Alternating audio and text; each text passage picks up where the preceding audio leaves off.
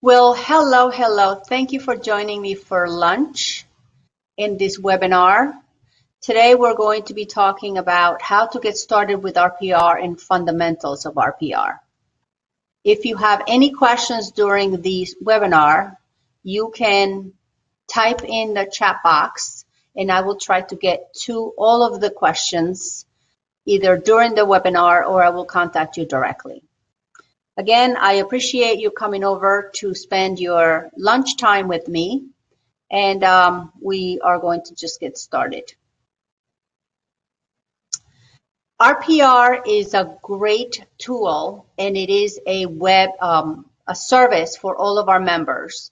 In order to be able to use RPR, you want to get to know the system so that you can close more deals and you can actually differentiate yourself from the competition by doing things differently and in a way that is more advantageous for your business. We understand how how much you work to get your transactions and we want to make sure you look really really good when you actually get in front of your clients. So you get a pro you are looking for a property for sale and the first thing you do is you do a market analysis or an evaluation of the property. So in this webinar, we're going to cover the homepage navigation. We're going to show you how to customize and update your profile using your RPR for buyers and sellers. There are different tools that are specifically for them. The reports are fabulous. So we're going to show you, I'm going to show you how to create a report how to share it, download it, and choose the pages you want if you want to um, print it and bring it to your listing presentation. And I'm also going to show you how to learn more about RPR and where to go to get more resources. In RPR, you will see that it, there is always an estimate of value for a property. This is an automated automatic or automated valuation model, which is cre- which, which comes not just from public records, but also from listing data that has been input into the MLS. And the estimate of value is a calculation, but it is also more accurate than some of the other estimate values that are available online.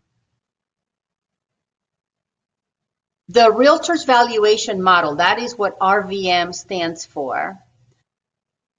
So it gets information from public records, like the tax information, the owner information. Also, it includes all of the information that um, uh, that has been added by either active listings, recently sold transactions, and off-market area.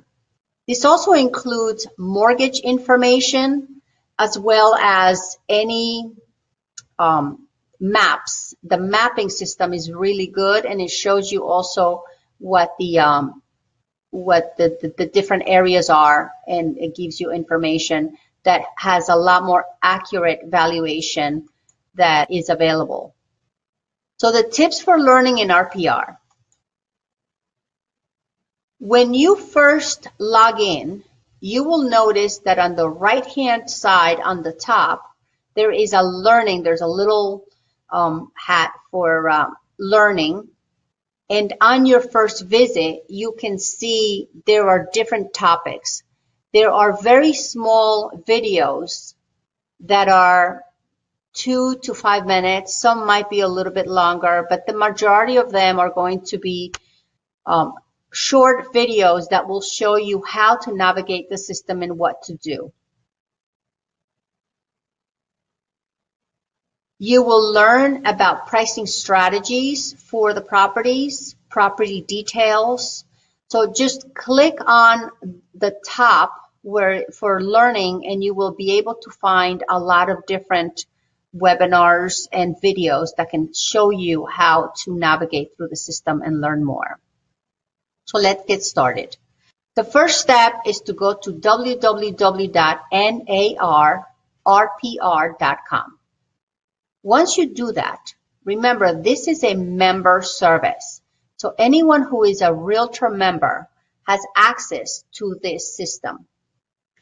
There is also RPR Mobile, where you would be able to download on your mobile device, whether it's Apple or Android. You need to go to your wherever you get your apps and um, download the program to access property information, reports, tools. It is fast, but it's convenient. But you will notice that the site is different than the desktop site. When you are on the mobile specifically, you can do searches, you can look at property details, and you can access some other tools. But there are some limitations for what you can do on the mobile site. You can turn properties uh, searches on or off, whether the property is on the market or off the market. Notice on the screen you see some values. Those values are the RVM, what we were talking about before. You can also take photos and add them to a particular property. You can take notes in voice or in text. You can create and send branded reports to your client. Even if it's not your property, you can also create flyers. In this system, the mobile site syncs automatically to your desktop site. There's also a blog on uh, blog.narrpr.com where you can also find a lot of different topics of, um, of information about RPR and how to use all of that information. You can find video tutorials, online webinars, ebooks. In the quick start guide, some of them are large, some of them are smaller, but that actually gives you a lot of information to be able to learn more and more about this. This is a very um, important mem member benefit that we have, and it is to your advantage to get to know all of the different uh, opportunities you have of using the program. These are some of the training programs and webinars and tutorials that you will find such as engaging clients with interactive investment analysis. That would that is perfect for commercial real estate. Getting started with RPR commercial because the site has a residential and also a commercial side to it. Advanced features of how to compare, do a sales comparison analysis. There are um, different mapping webinars um, introduction to realtors. So there's a lot of different things. The one that I'm doing right now with you is getting started with RPR. So when considering a business tool, you want to make sure that you really take the time to learn about the system. There are beginner tutorials and there are more advanced tutorials. You want to explore all the videos in the course you want to see all the online learning courses. And during that, if you have any questions, I'm always available to uh, for any questions you may have by reaching out to me by email. When you go to the Quick Start Guide, you can download, there are many different topics that will uh, provide additional information and you can create your own library of topics for the system. So how to create a new account is covered in a quick start guide. How to complete your profile, how to get to your homepage, how to explore the different topics, doing searches for properties, refining your search results, using the mapping system, and also creating reports. And it also shows you how to email your reports or download your reports for your client. You can also do a neighborhood report, which I'm not going to cover in detail here, but we will have a future webinar where we will cover how to actually do a um, a, um, a report for a neighborhood if you're getting a listing or if you are specializing in that particular area. So now at this point, you, uh, in order to access RPR, again, you have to go to www.narrpr.com. You can download your mobile RPR onto your mobile device, log into the blogging area, and if you need any help, they have people available 24 hours, seven days a week at the phone number listed on the screen 877 977 7576. Every page on the on the whole website also has support links at the bottom of every page. So, and also take a look at the learning menu icon so you can learn what is um, available um, and every time they make a change, an update, or improve the site or add something to it, you will be able to see what is new on the website. So I appreciate you being here. At this point, I want to just give you an overview of what, of what my RPR website looks like. So give me just one second, and I am going to share with you what how I use my um, my website, my RPR website. So as you can see here, this is customized with my company, my name. On the top you see it says welcome Diana and next to that is commercial. I am now logged in in the residential side. If you wanted, if I wanted to change to the commercial side, I would switch to commercial, but I'm not going to do that right now.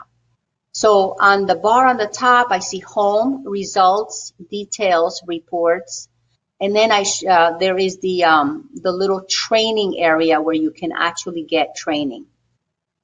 In order to do any type of search, you can actually type in, start typing an address, and you will start typing an address and the system will actually take you to that property address. And it will show you if the property is for sale and the um, AVM. It will show you on the right hand side what is the uh, the map. If you make it a bigger map, you will see you will be able to open the map wider and notice where it says heat maps right below the map on the right hand side. You can actually look not only at estimated home values, concentration of distressed properties, but also more importantly, the flood zones. So here it shows you it's green because it's a low risk area. Anytime you need to go to a different property, you just click, click on home and it will take you to the main page. Anytime you do a search, your search, the property you searched will be saved where it says recent properties on, on this window over here. So for a property, for example, that is recently sold or off market, when you click on that property, it will actually show you the pictures of the property when it was listed and it will show you if it has not had any activity on the property. It will show you the owners, any bank information they have. You can also add notes. This is where you can add a note.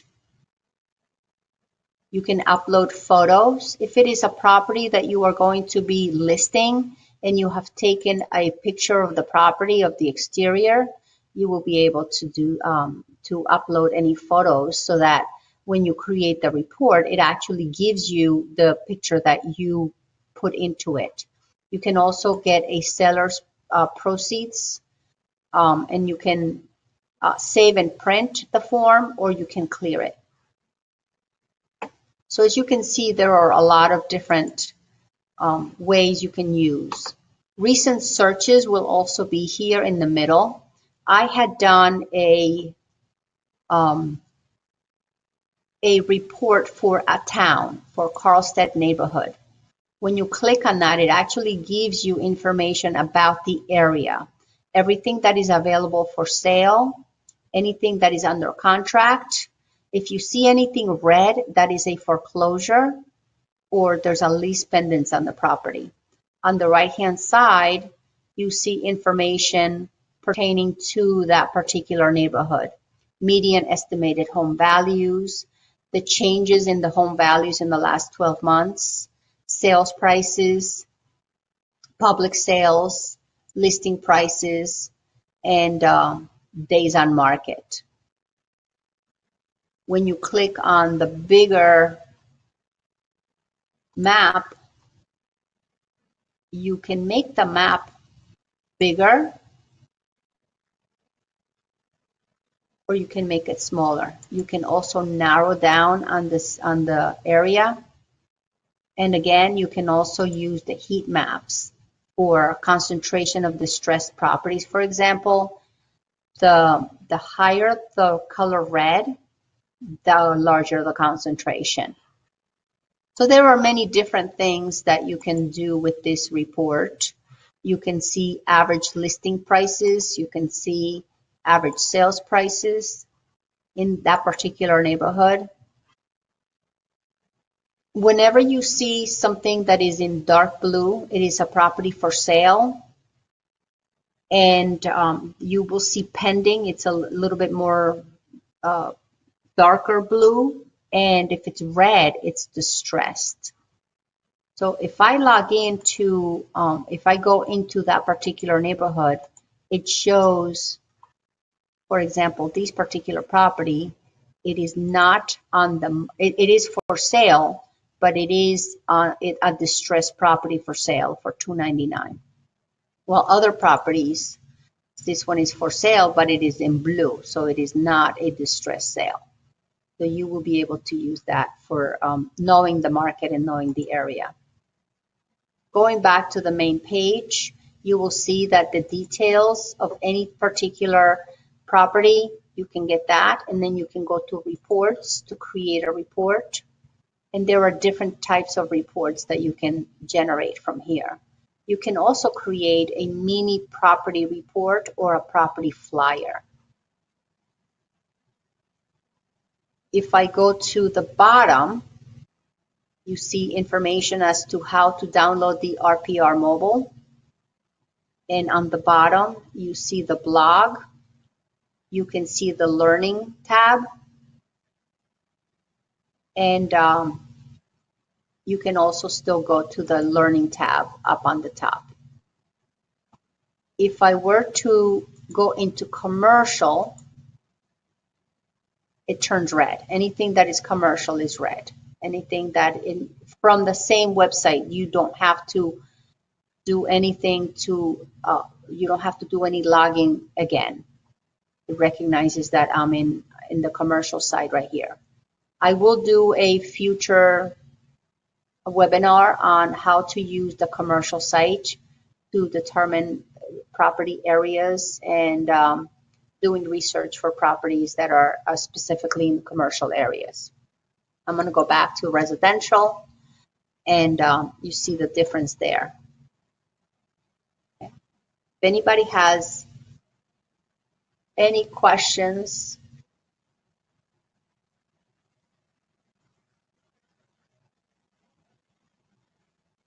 If anybody has any questions, um, please take a look at. Um, if you have any questions, please you know reach out to me. I'm looking to see if there's any questions on my chat box, and without seeing any, um, this is obviously just an overview of and fundamentals of RPR, but there is so much to learn that I hope you will be able to join me for our future webinars where we will go into more detail about specific areas and how you can use them in your business. If you have any questions, like I said, my email address is Diana Bustamante at realtyexecutives.com, and I look forward to seeing you at my next webinar. Thank you so much, and have a wonderful day. Bye.